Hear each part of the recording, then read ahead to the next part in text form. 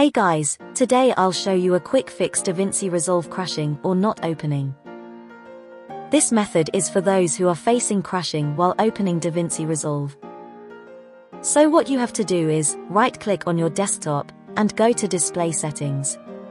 Then go to Graphics Settings.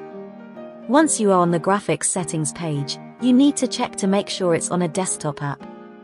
Once you confirm you can click Browse, go to C Drive, open Program Files, then open up the Blackmagic Design folder, then DaVinci Resolve, then scroll down and select the DaVinci Resolve icon. Once you select, click Add. Once you done click Options, then select either Power Saving or High Performance. Once you have done all this now you can open up your DaVinci Resolve 17 or version 16. Now onwards it will work just fine. Mine works without crashing. If this still is not working then you need to check my older video which I fixed on another method. I'll leave the video link in the description. Thanks for watching, if you like this video, please drop a like, hit the subscribe button and share with your friends. I see you guys on another exciting video.